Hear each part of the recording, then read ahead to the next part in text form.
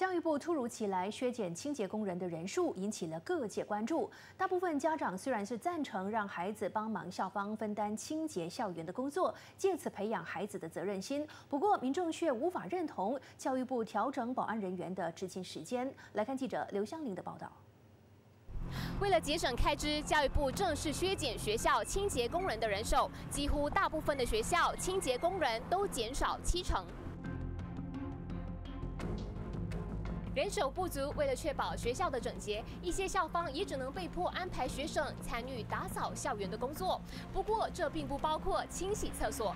即便如此，父母送孩子到学校求学，如今孩子却还要帮忙校方整理校园，家长怎么看？我觉得也是一个好的东西，因为这样下去你会觉得，好像比如说在日本，他们有这个活动，是 is from kindergarten all the way。是给他们学，不要弄按照我们的 environment，是一个好的习惯来的。没有什么打扫啊，是我们大人打扫，可以教他一种帮忙大人的，有一点责任感给他们。对孩子有益啊，他他彼此都有帮忙做下家务吗？可以啦，不要紧的，小孩子给他做多一点好吗？这样才好嘛，不要责要要宠他们。这么要孩子去定期做那个大扫除，你一定有一个理由出来的嘛？因为不够平呢。这个理由够吗？这样不够。不行，你觉得不行？你觉得孩子的责任是？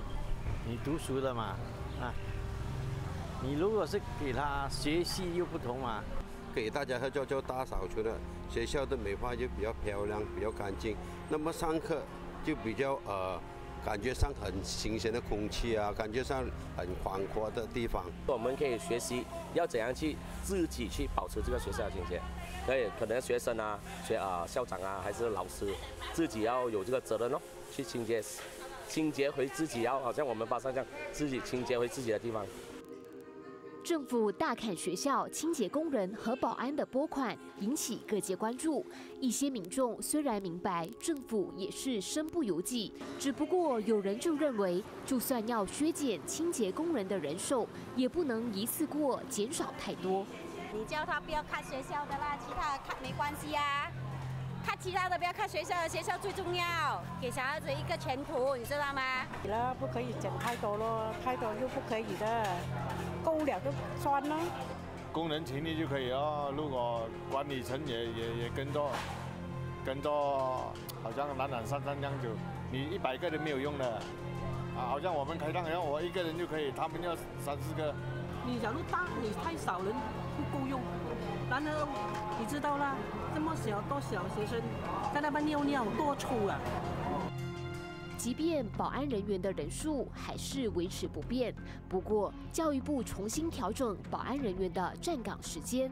在调整之后，四名保安人员将分成三个时段值班，每个时段工作八小时。白天有两名保安人员站岗，不过从下午三点开始，都只有一名保安人员会在两个不同的时段值班。民众认为这样的安排并不妥当。我们有试过听过有些学校，呃，会有东西，呃，比如说电脑啊，重要的东西才这样的东西不见。